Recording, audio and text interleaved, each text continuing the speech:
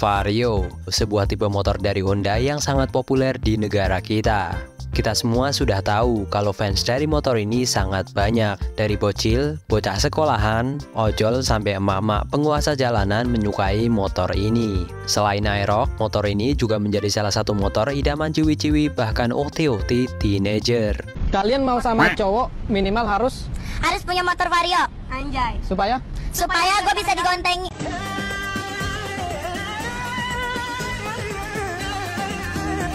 Nah, kira-kira kenapa motor ini bisa sepopuler itu? Padahal keluhan gerdek, bodi getar sampai spakbor miring masih ada sampai generasi terbarunya? Atau jangan-jangan itu adalah fitur andalan yang menjadi daya tariknya? Mari kita hujat di video ini.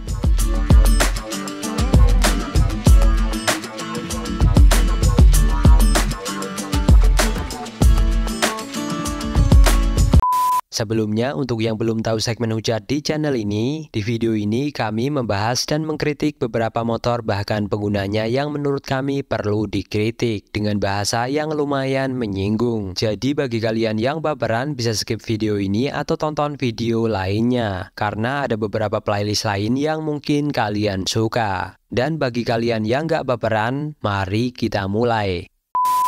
Honda Vario pertama kali hadir di Indonesia pada tahun 2006. Generasi pertama ini merupakan bentuk antisipasi dari Astra Honda Motor atas semakin populernya skutik di Indonesia.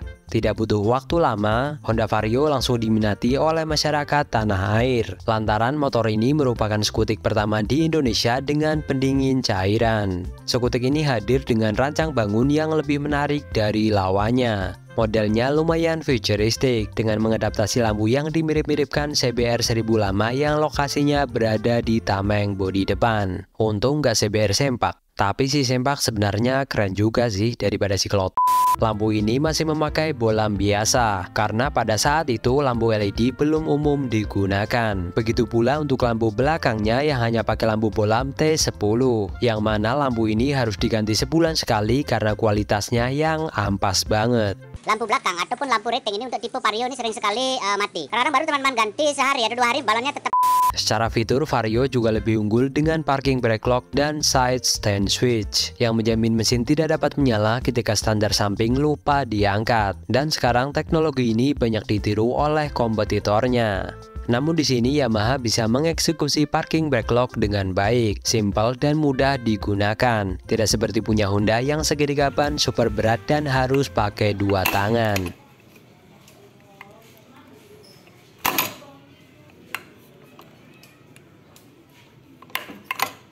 Pada generasi awal ini, Vario hanya disediakan satu pilihan mesin. Motor ini dibekali jantung pacu berkubikasi bersih 108cc SOHC yang dapat memproduksi tenaga 8,99 PS di 8000 rpm dan torsi maksimum di angka 8,4 Nm pada 6500 rpm. Motor ini tergolong revolusioner lantaran penyematan teknologi pendingin cairan yang belum diadaptasi oleh rivalnya. Namun sayangnya mesin dari motor ini sangat menyukai pom bensin mesin. Dan yang sangat menarik perhatian adalah suara starternya yang kayak bledek.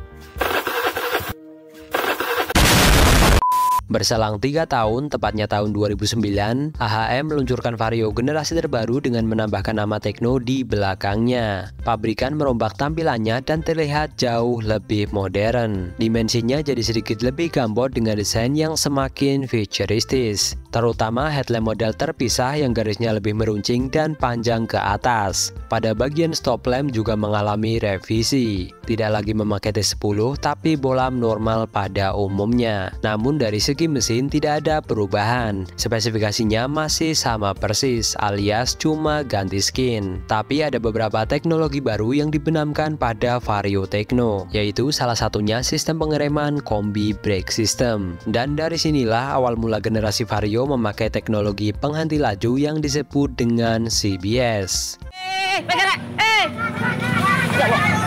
Di tahun 2013, Honda Vario 125 PGM FI diperkenalkan. Pada generasi ini, AHM menaikkan kelas dan mengubah segmentasi Honda Vario. Perubahannya terhitung banyak, salah satunya desain yang semakin gambot. Dan tidak hanya bentuknya, sektor jantung pacu juga ditingkatkan menjadi 125cc PGM FI yang terdapat fitur andalan yaitu gredek. Itu akan gredek kembali. Nah, jadi saran saya kalau memang ingin benar-benar sembuh nanti teman-teman bisa mengganti di bagian mokokanda serta ditambahkan fitur baru yaitu idling stop system yang sekarang juga ditiru Yamaha dengan nama SSS.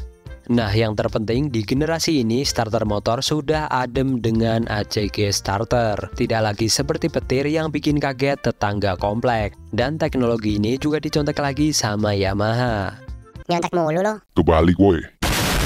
Di generasi ini, anehnya lampu belakang kembali memakai lampu T10 yang ampas. Dan di tahun 2015, Honda kembali memperkenalkan Vario 110 yang sebenarnya ini lebih cocok dinamai Beat Facelift karena memang ini hanyalah Honda Beat yang pakai skin Vario. Mesinnya sama persis yang masih berpendingin udara. Padahal selama ini mesin Vario ya pakai radiator. 110cc radiator nggak penting bang.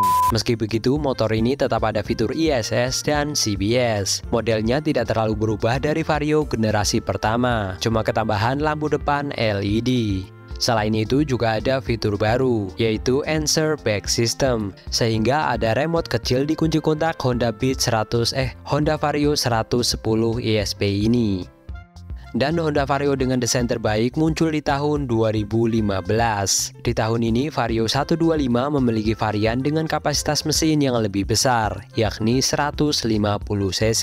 Vario 125 dan 150 punya desain yang identik, hanya ada perbedaan pada striping serta warna lampu panel indikator saja. Tapi kalau dibanding model sebelumnya, obahan di seri ini terlihat sangat agresif dengan shape yang meruncing di setiap sisi. Sangat sporty apalagi terdapat lekukan mirip winglet di area depan yang seolah-olah motor ini bisa lari 300 km per jam. Lampu LED yang menyilaukan mata tapi tidak kelihatan di jalan juga sudah diterapkan di Vario ini. Ini adalah cahaya dari lampu Vario. Karena kurang terang apalagi ketika hujan, biasanya kalau dipakai emak-emak, lampu ini dipakai untuk membunuh pengendara yang berpapasan dengan mereka. Fitur spakbor miring juga mulai dipopulerkan di sini. Walaupun di generasi sebelumnya juga sudah mulai terlihat. Dan tak ketinggalan mesin gredek juga masih dilestarikan di model ini. 2018 motor ini ganti skin lagi. Bentuknya cukup banyak perubahan, terutama penggunaan headlamp baru model pertingkat yang ke CBR CBR-an. Sementara di bagian speedometer sudah full digital yang tak lepas dari penyakit sunburn. Walaupun kasusnya tidak sebanyak sunburn pada motor ngabers.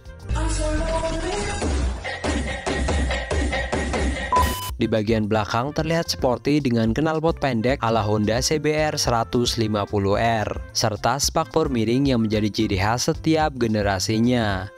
Di awal 2022, Vario 150 discontinue dan digantikan dengan Vario 160 yang katanya skuter besar. Saatnya berkendara dengan sensasi skuter metik besar dengan desain yang dibuat lebih gambot dan kepala hidrosefalus super besar.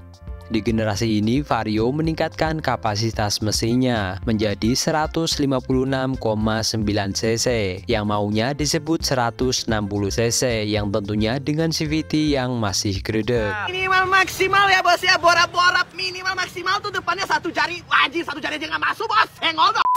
Ini juga bisa dibilang mesin sejuta skin karena ini adalah mesin yang sama yang dipakai Honda PCX dan ADV 160.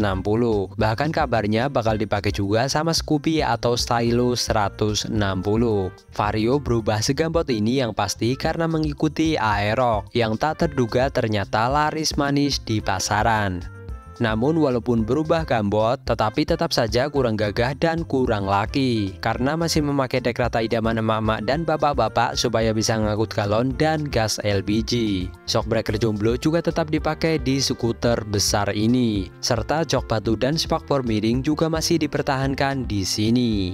Spakbornya guys, spakbornya itu nggak lurus teman-teman bisa lihat. Nah Oh ya, dari semua generasi Vario ini, atau bahkan semua motor Honda dari Supra hingga Vario, secara default sudah terdapat fitur bodi getar, yang mana fitur ini juga auto upgrade menjadi lebih powerful jika motor kalian ditangani anak magang di bengkel A. Di tahun 2022 akhir, Vario 125 disegarkan. Namun kami tidak akan membahas motor ini karena cuma ganti skin. Itu pun lampu depan dan belakangnya masih sama. Apalagi lampu sein sejuta umatnya, yang sepertinya Honda akan memakai lampu ini di semua motornya sampai akhir zaman.